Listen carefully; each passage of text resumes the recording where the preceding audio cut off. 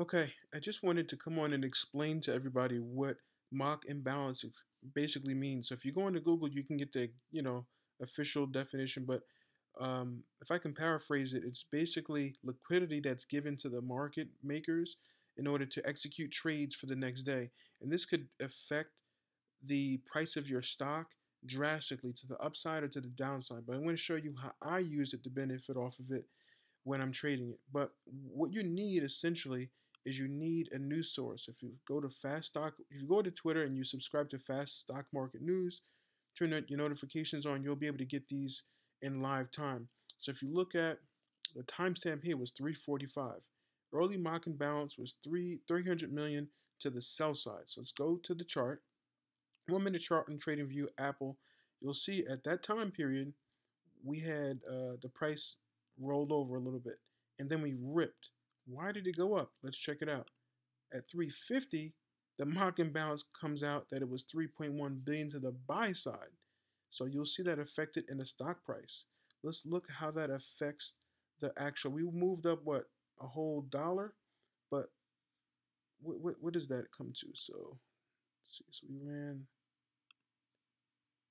we ran a whole percent, you know, a little over a dollar. What did that do to the actual stock? These were zero dated options for the last 10 minutes of the closing. 140 calls, right? They were trading them for about 70 cents. They so basically we sold off about 40% down to about $50 and then we absolutely ripped into close. And this wasn't even all of it. I mean, into the closing we uh, this thing this stuff ran to like 230. So you're talking about about a 500% return in a matter of 10 10 minutes.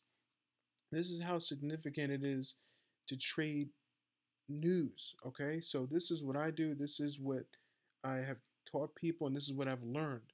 So have a news source up so that way you can take advantage of some of these news plays and um, and know how to play them. All right. So if you want more information about other educational, you know, things you can learn from trading, follow me on Twitter, follow me on um, Instagram, and also follow me on YouTube. But on Twitter, I actually post my trading strategy, and I and I post trades that I'm getting into, trades that I'm getting out of, and you can ask me questions on there. So look forward to seeing you, and I hope you remain profitable. Bye bye.